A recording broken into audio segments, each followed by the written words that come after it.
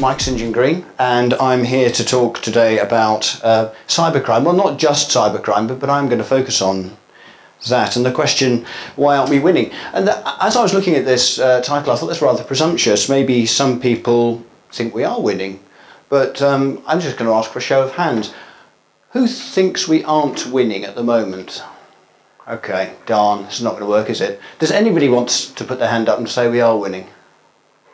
Excellent. Oh well, during questions you can you can uh, help us out there. Um, well, sometimes. Sometimes, yeah, absolutely. I would say that it's not an entirely bad story, but I think that there's a, there's a real issue, um, an underlying issue, which I'm going to uh, try to draw out today. A little bit about me. I'm an engineer by profession. I took an electronics degree in the 1970s world seems to have changed a bit since then.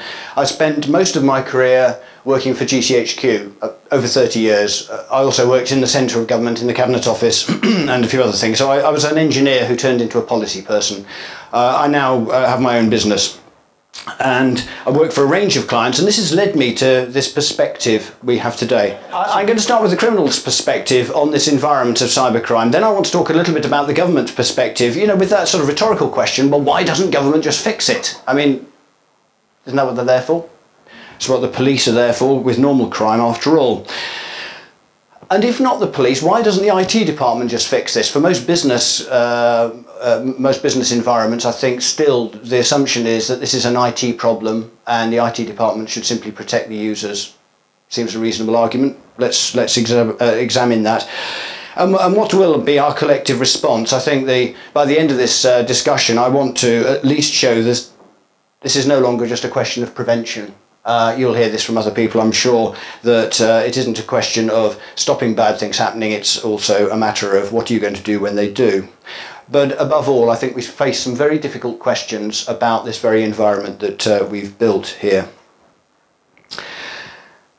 So, starting with the criminal's perspective, I hasten to add that this isn't a first-hand exposition of a criminal's perspective. It's a second-hand one. But do you remember when serious crime involved pictures like this? It involved physical seizure, it involved escape, often at high speed, with squealing of tyres and people like Dennis Waterman when he was a young man. Uh, this was from the Daily Mail about uh, July last year. Leave it to just glance down there. Bank robberies fallen from 847 to just 108. 20 years. Criminals prefer sophisticated raids using computer technology and card fraud on the rise. Bank robbers now are online. Cybercrime is booming and, um, and actually cybercrime is being performed in an increasingly professional way, uh, if you'll excuse that expression in my presentation today, I'm going to draw on, I'm going to make some assertions, but I'm also going to draw on some evidence. And the first uh, source I'm going to take is uh, from Dell SecureWorks, and some of you may use this service. Dell offers um, what I would call a, sort of cyber security intelligence function. Look at the headlines though. Underground hacker markets are booming with counterfeit documents. It's all about identity. We heard that from, from David earlier. But the last line, 100% satisfaction guarantee, money back if not fully satisfied. Online help, 24 by 7 help desks. This is the cyber crime world. This is the perspective of the criminals. This is just a glimpse. I'm not going to dwell on these, but price 2013, price 2014. It's not the prices that matter, it's the fact that this is a commodity market.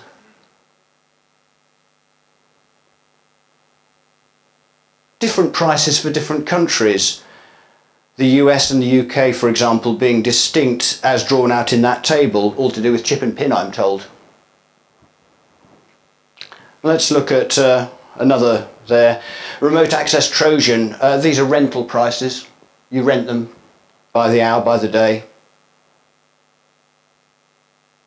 And if you have trouble, you contact the helpline, they'll explain where you're going wrong.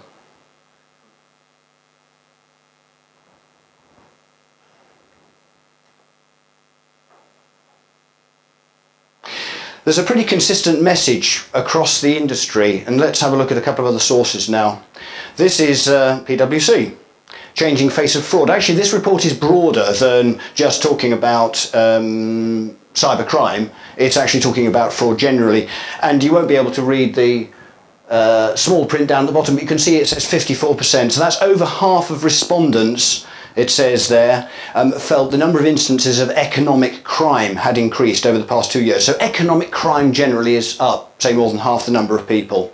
That's the, the, the message really from there.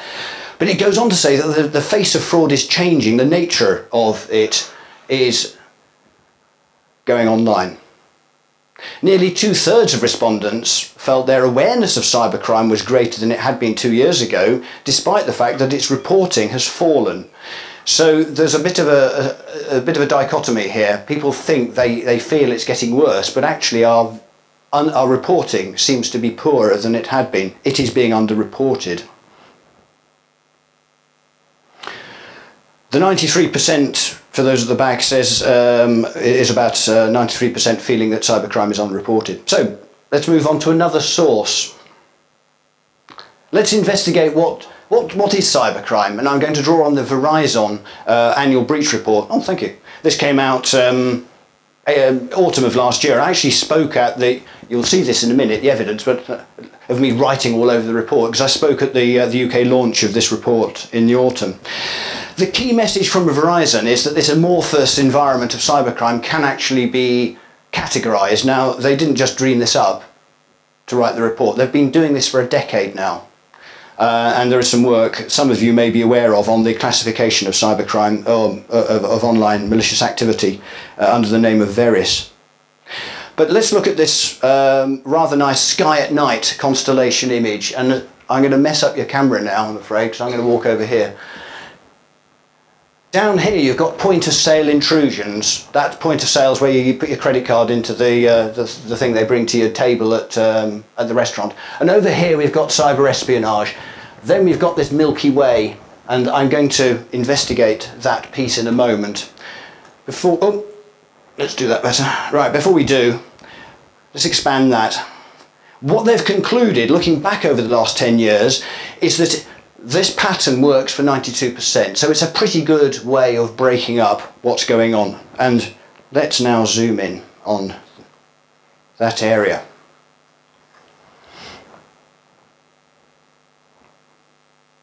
So for me, the key message is that this, down the right hand side here, is largely about people. It's largely about people who have privilege the insider perhaps. We've got to be careful about whether those insiders are malicious or not. And down the outside, uh, down the left-hand side there, uh, DOS attacks, crimeware and web attacks tend to be the external. Now the reports uh, uh go on to analyse uh, by sector financial services for those who are involved in financial services and it's, it's an area I work with quite a lot, quite a few of my clients. It, it actually says something that resonates with me that financial services are quite worried by uh, DOS attacks and, and web application attacks. If you think about a bank, that sort of that makes sense. But there were some other things that caught my eye in this report, which I'd like to show you now. When I saw this graph, here's my handwriting on it, it says cybercrime goes online.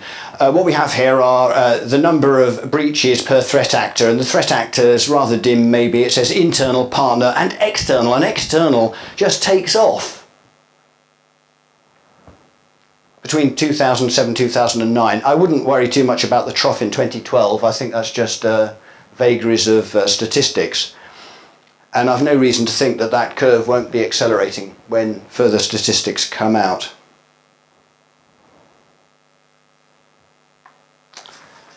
The second thing that I took from this report, this is actually a copy from the report with my axes because they, I think they intentionally made the axes faint so you couldn't photocopy the report. What does this mean? It's quite complicated as a presentation. Nearly every compromise takes less than a day. The time to compromise, more than three quarters of compromises are less than a day. less than or around a quarter of compromises are discovered within a day. That's what that says. But then there are some rates of change on there. So, the first point the attackers are faster than the defenders, but the attackers are getting better than the defenders year by year. It's getting worse. I, I, have a bit of a problem with this statistic. I mean, it's a lovely argument, but I, am just going to make a parenthetical observation that um, it suggests that, that, that uh, attackers are a sort of smash and grab activity. I don't think they are. They're in it for the long game. They may take months. They, they will uh, perform reconnaissance. They have all the patience in the world it's not costing them a great deal to, to, to, sit there on your network and look for things. So I wouldn't go away with that um, particular point. Nonetheless, the time to compromise can be extremely quick. Right, another source. This is Ernst & Young. Get Ahead of Cybercrime 2014, their survey. And um, I'm going to show a couple of statistics out of here. One of them is, I need my glasses to read it. Who or what do you consider the most likely source of attack? And let's pick two of them out. Um, now you notice that they've they've divided this into the grey and the yellow. You've got uh, you know who are the people. You could call it the vector, and then you've got the what is their motive? Are they criminals? Are they state-sponsored spies? Um, are they hacktivists, etc. And to me, some pretty clear things come out. Who wins Uh, are there any accountants in the room? Quick show of hands. No one are prepared to admit to it. Well, um, for the arithmetically inclined, I know this doesn't add up to 100, but if you go to the report, there's a reason for that. Apparently, you can vote early and vote often in terms of their, their survey. So, employees and criminal syndicates. And employees can be witting and unwitting, of course. We are not distinguishing here. The second one so the first one, sorry, the first picture, let's just go back, beg your pardon. That was a static picture. Let's look at rate of change. Let's look at how it's shifting. Which threats and vulnerabilities have most increased your risk exposure in the last year? They were asked for 2014. This is about threats. The first slide. Which threats have most increased?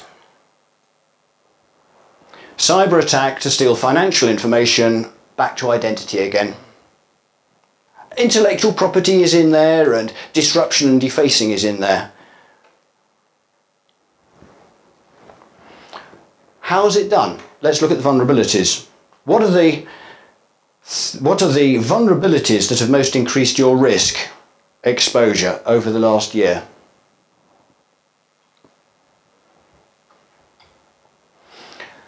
This is very interesting to me. Outdated policies, rules, and careless or unaware employees. It's back to I think that that's not that's uh, that's not intended to include the uh, the witting, the malicious. That's just careless. But I don't think those two things are entirely unrelated.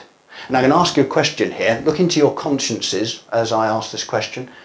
Have you never been faced with a dilemma in your organisation of either getting the job done or obeying the rules? Don't need to put your hands up.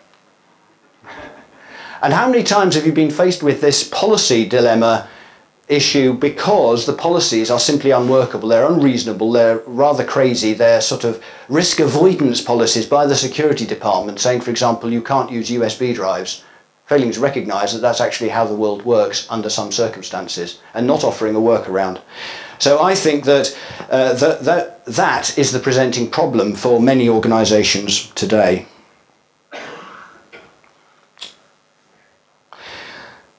So where are we now? Well, I think it's crime that is the, the big issue, although um, loss of intellectual property, espionage, uh, industrial espionage mustn't be under, uh, uh, um, underestimated, but I'm, I'm here to talk about cybercrime really today.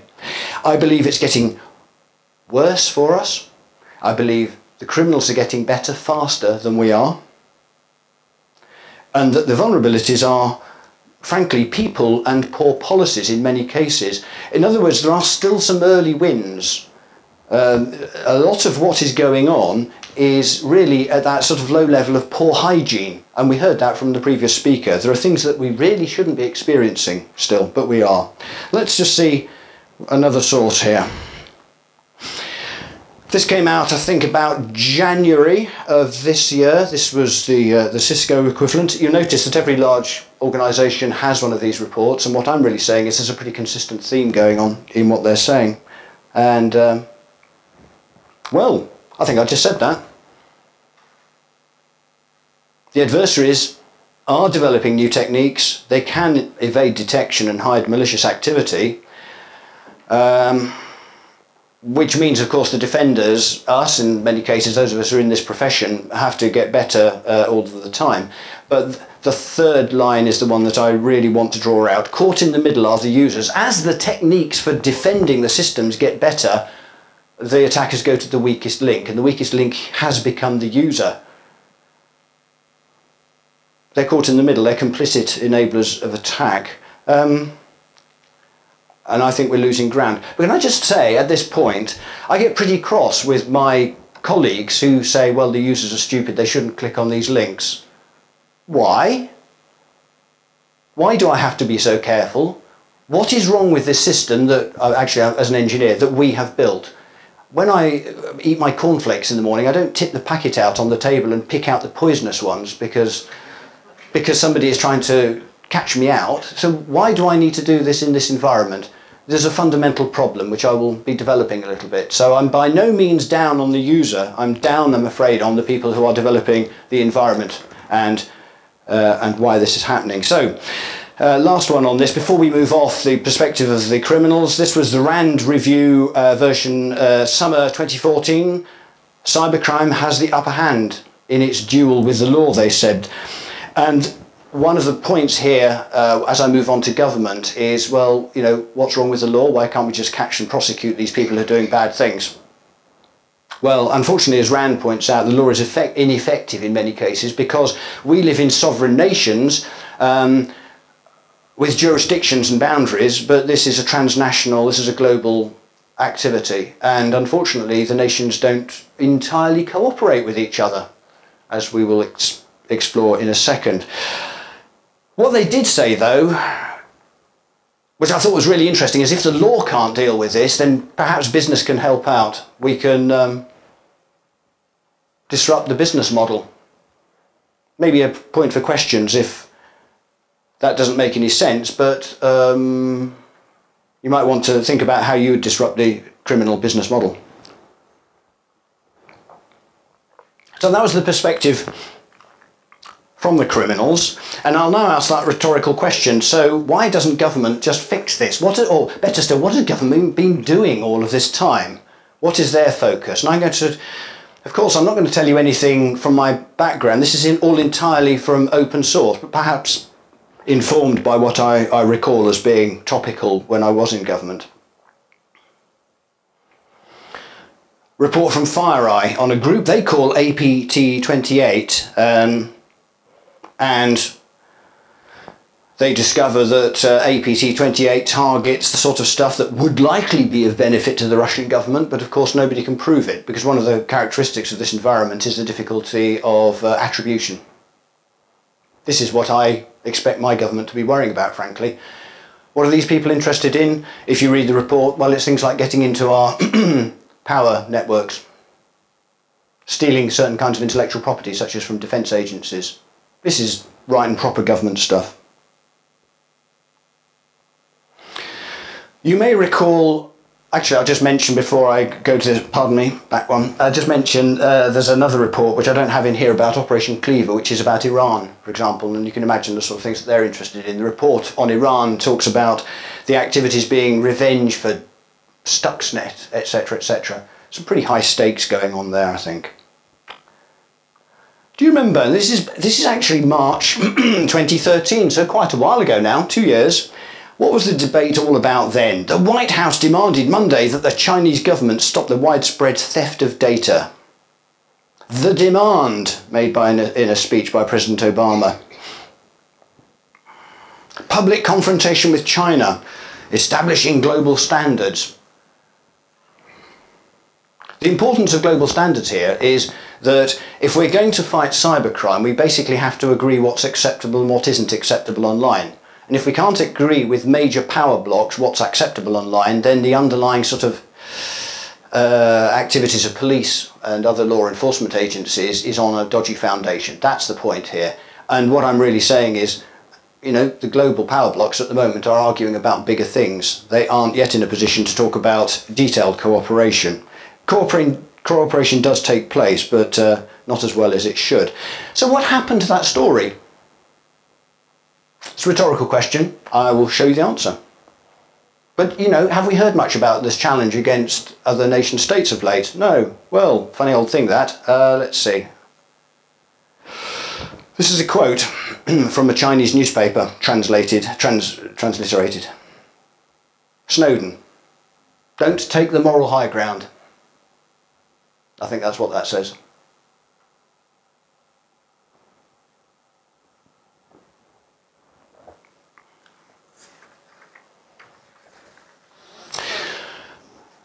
So, the last thing that really came out of the, uh, the, White House and or Downing Street on this, I think, was um, this is this is pretty much bang up to date. 16th of January of this year, um, Obama and Cameron meeting.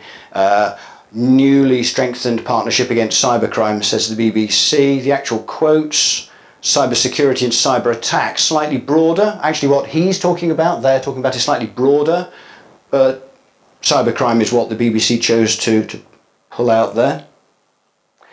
And I think what this shows is that um, the, the government is now broadening, is recognising this, this much, much more severe threat from cybercrime and is actually broadening, it, broadening its attention to uh, look at this topic. You know, and there are questions here about using the sort of state apparatus that you would normally reserve for uh, state on state uh, for use against criminals. It's, uh, it's a topic that I, um, we can come back to in questions if you really want to but I'm not going to pursue now here. So that's what government has been doing, and, and for me, that's why they can't just fix this, because this is a global activity. Uh, but uh, so the third, the third question was why can't the IT department just fix this? Now, as an engineer, I could deep, go into some nice techie talk, but I'm not going to. I'm going to actually take something from Scientific American as my first. Oh, sorry, yeah, I've said that bit. State apparatus will now start looking at tackling the cybercrime activity more than they had in the past. So, this is from Scientific American, The Age of Digital Entanglement. And uh, there's, a, there's, a, guy called uh, Danny Hillis wrote an article which I thought really captured this very nicely.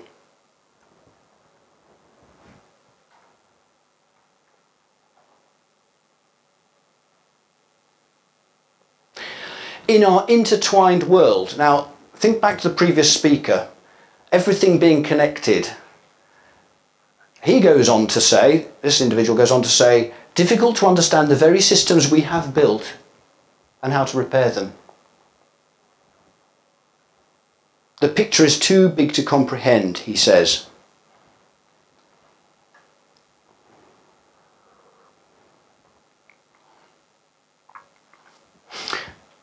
Now, when I look at this problem, I use expressions of messy complexity and hyperconnectivity, which are terms that other, others use in this space. Everything being connected to everything else means that it's very difficult to understand now this information system that we have built and make it secure.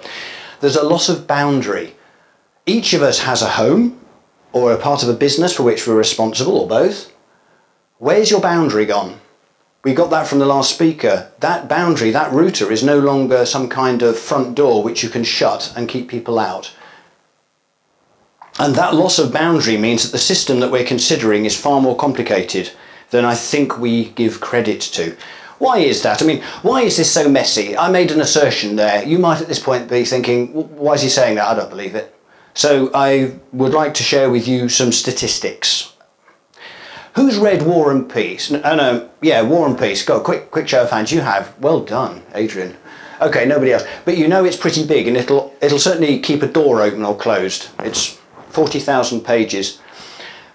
The top of this graph here of code bases says a million lines of code is equivalent to 14 independent versions of War and Peace, 14 different parallel versions. Can you get your head around War and Peace? It's pretty hard. 14 versions, I think, is round about the limit of an individual, maybe arguably more than that. Let's just look down this graph and see what we've got. Windows 3.1, for those who remember it, 3 million lines of code. Sorry? Is it too much? Or too... That's, that's 42 War and Peace. Oh, 42 War and Peace. Thanks for doing the arithmetic. Yes, I wasn't quite there. Right. Let's, let's quickly skip through. Here are a few more. You can see where this is going. Look, there's plenty of space left on this graph. You know where I'm heading, don't you? There's Firefox. NT 3.5, for those who remember those glorious days. Let's move on. Here we go. Now, Windows 7. 40 million lines of code.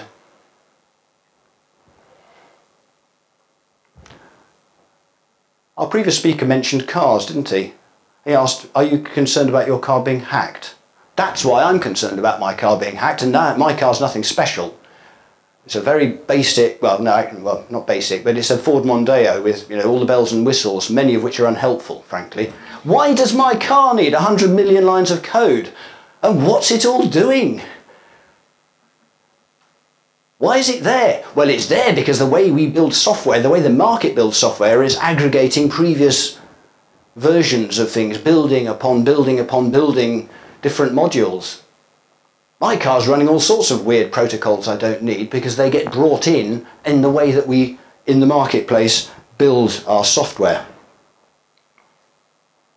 And by the way, if you're interested in hacking cars, go to a do a quick Google search. How did we survive for Google? Anyway, go go online and search on DARPA and hacking cars and Bluetooth or something like that, and you'll find out that um, it's the Bluetooth protocol they use. That one where you uh, you know you use your phone to connect to the car. That protocol. That's how they hacked into it. And, at this point, you might say, well, 100 million lines of code, yes, but it takes quite a lot to have a flaw or a vulnerability, doesn't it? No, it takes one line of code. One line. This is a man in the middle attack. I'm not going to go into a lot of detail here about what a man in the middle of attack is, but you can sort of get the idea from there. You think you're talking to the web server, but you're not. You're talking to someone else. One line of duplicated code. If you've got an Apple product, you may have heard of GoToFail one line of code meant that the security software was not working. It opened all Apple products running that protocol up, the appropriate protocol up to a man in the middle attack.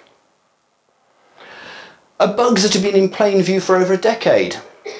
Because surely that wouldn't happen, would it? In open source code. Heartbleed leaks cryptographic keys, enables you to do that man in the middle attack. Yes, okay, but doing a man in the middle attack requires a real nerd, doesn't it? No. I don't think Betsy Davies made this up herself. I think she was given a script sheet of instructions, but they weren't difficult.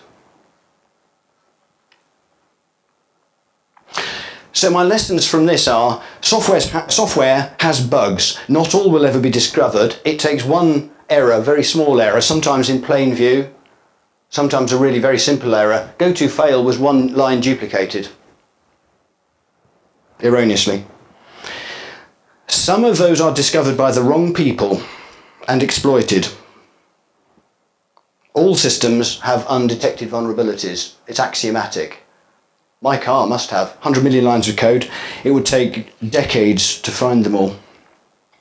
So, isn't there a technical solution to all of this? Well, yes, but. So, this is back to the question to the IT department. Frankly, it is cheaper to get the design right than to fix it later. I mean, immeasurably cheaper, but the market will deliver flawed software because we're rewarding the market. The market, sorry, rewards vendors for being there first, not for being there right.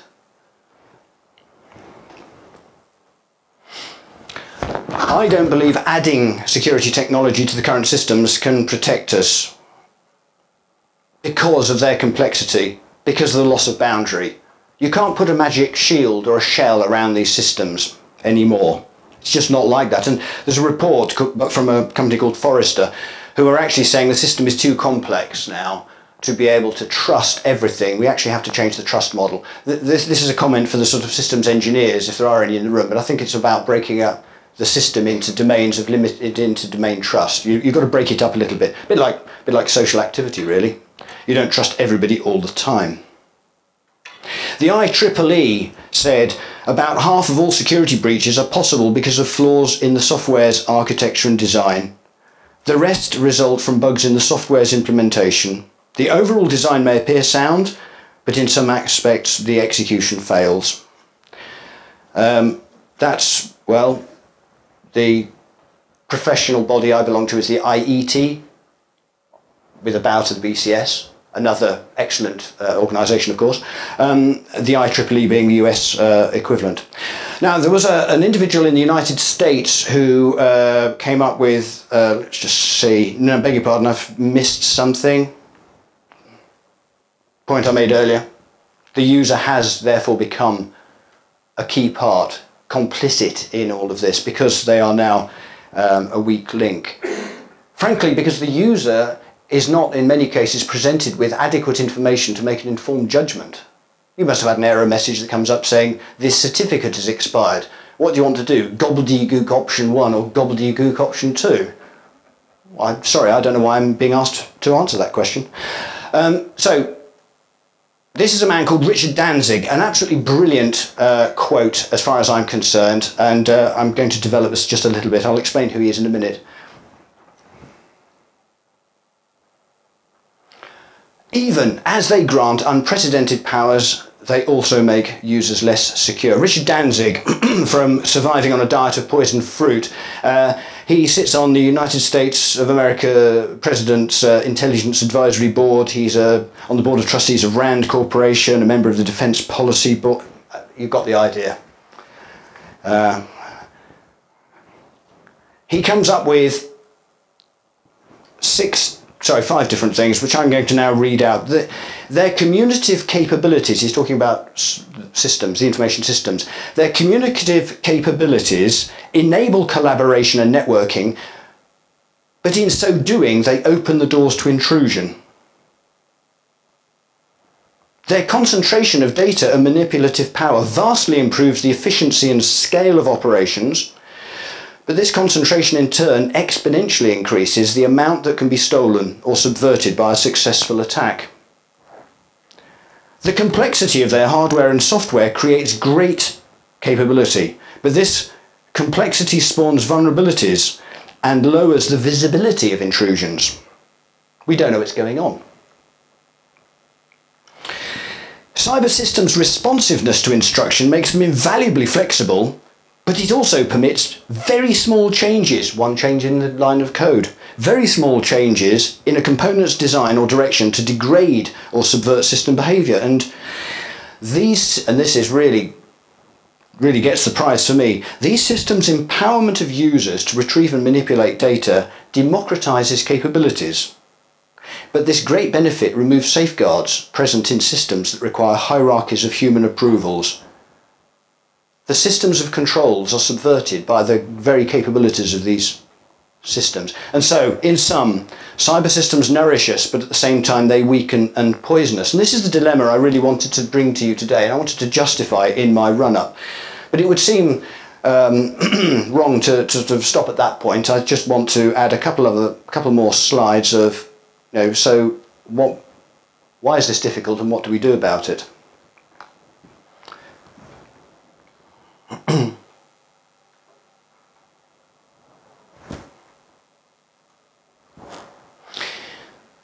This is the consequence, in my view. I don't think this is happening yet, but I start to see signs of people becoming less trusting.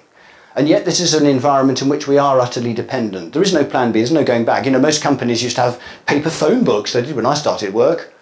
Now, if the network goes down, frankly, we can all sit around and chat and then go home early. I think the prize for businesses, and I would talk, I talk to banks about this, is to maintain, re-establish and maintain trust in these systems and explain why their bit is better and trustworthy. So what's to be done?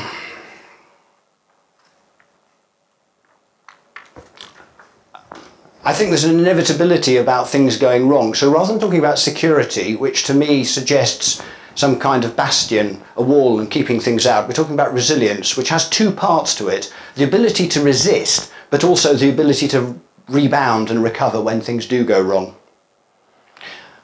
Given that our boundary has gone, we are joined to our suppliers, clients, and our opponents. A friend of mine's um, military officer, uh, general rank, and he says he's got this great thing. It's from the Marines, U.S. Marines, and he says, um, uh, "When the enemy is in range, so are we."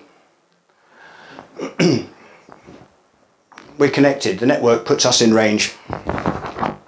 Getting a better balance between the two. And I think what this means is that this is not something that the IT department can simply fix. That the board can say to the IT department or the CIO, uh, this is your risk, don't want to hear about it, you know, we're there to make money, you're there to keep this away from us. This is now such a deeply embedded part of our businesses, almost all our businesses, that it's a risk at the business level. And, oh, and please, let's, let's get users on side and deal with some of these rules and stop trying to put the issue onto the user to arbitrate between doing the job or abiding by policy or having to answer ridiculous questions for which you have not been provided the, the means to answer. Um, this is the bastion. I'm afraid there are holes in the walls, the walls have broken down. What we value is outside the wall as well as inside, and the bad people are inside as well as outside. Ladies and gentlemen, thank you very much.